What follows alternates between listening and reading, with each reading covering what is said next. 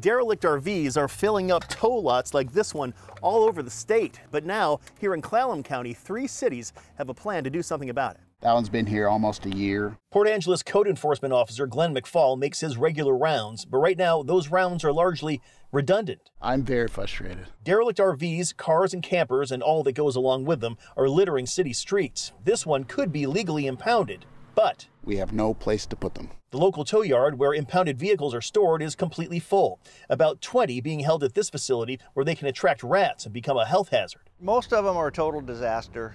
They, uh, they've had no maintenance. The uh, tanks are full as far as the sewage. With the people living in the cars now, uh, there's been more and more uh, these cars being dumped on us. This is Dave Arstedt's auto graveyard at Evergreen Collision. He has no room for any more RVs, some of them 32 feet long. He says getting to the point where a vehicle can actually be impounded is very tricky as it has to be vacant. If we miss that specific point when we can actually get it and get it ready to dispose of, uh, another person or family might move into there, then it starts the whole process all over. But Port Angeles is now working on a plan to construct additional storage at Evergreen to add 17 RV spaces.